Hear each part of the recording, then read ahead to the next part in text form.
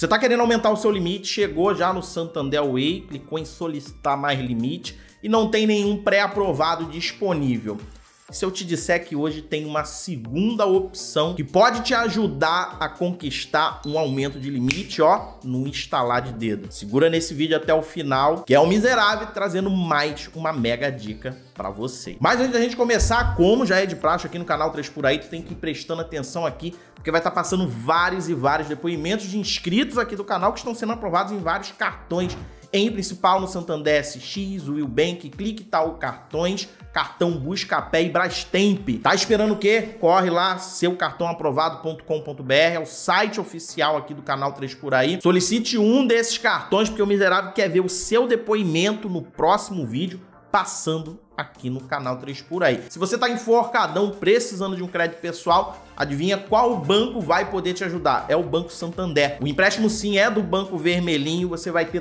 toda a facilidade na hora da análise de crédito que só o Banco Santander tem. Agora sim, sem mais delongas, vamos ao que interessa. Bom, uma maneira convencional de você pedir um aumento de limite no Banco Santander é entrando no aplicativo Santander Way, como eu já ensinei para vocês em várias oportunidades, clicando em solicitar mais limite ele vai te dizer que se tem um limite pré-aprovado. E se você é inscrito mito aqui no canal, você sabe que nunca é para aceitar o pré-aprovado logo de cara, é sempre para tentar um valor bem mais superior do que aquele ofertado aqui no app. No meu caso aqui, não tem limite pré-aprovado, mas isso também não me impede de chegar aqui, por exemplo, colocar, olha, eu quero ter 30 mil de limite tá? O cartão ali. Digitei aqui os 30k de limite, eu posso clicar em solicitar sem problema algum. A instituição financeira pode aprovar ou pode negar. Essa é a maneira convencional, mas eu quero mostrar uma outra maneira para vocês que tá liberando limite em massa. É uma coisa assim que eu ainda não entendi muito bem do Santander fazer isso, mas vocês vão entender. Segura aí que eu vou te mostrar. Eu já tô aqui na opção trocar cartão e é a partir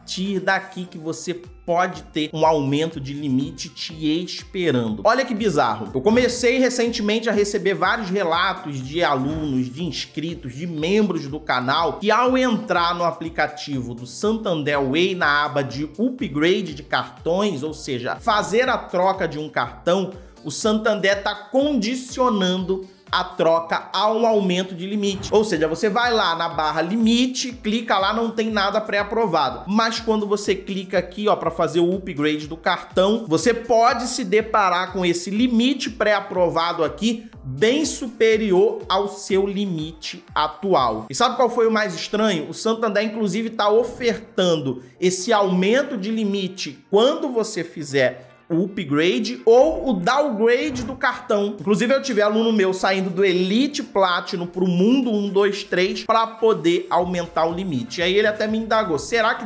futuramente eles vão ofertar novamente o upgrade pro Elite Platinum? Eu falei, com certeza, pode ficar tranquilo quanto a isso. O que me causou um pouco de estranheza, você fazer um upgrade, tudo bem, show de bola, é interessante. Mas o banco permitir fazer um downgrade com aumento de limite, isso foge um pouco ao que eu esperaria da instituição financeira. Eu tenho aqui como exemplo ó, um Santander SX para fazer um upgrade para o Unique Mastercard Black, para um Elite Platinum ou até mesmo para o Mundo 123. No meu caso aqui, como vocês podem ver, não está disponível esse aumento pelo upgrade, visando que sair do SX para um Santander Elite, por exemplo, seria um upgrade. Logo, caberia talvez aqui o banco ofertar um limite maior. Então o que é que você tem que fazer agora? Acesse o Santander Way, vai lá na aba de upgrade e verifica se está ofertando para você um upgrade com aumento de limite. Eu já vi várias pessoas aumentando o limite 3, 4, 5, 10 vezes a mais, fazendo o upgrade, inclusive o downgrade do cartão. Olha que coisa bizarra. E esse aumento de limite pode estar disponível para você. Se você já tinha visto essa opção, conseguiu aumentar o seu limite pelo upgrade ou downgrade, deixa aí na descrição. Se você acabou de assistir ao vídeo,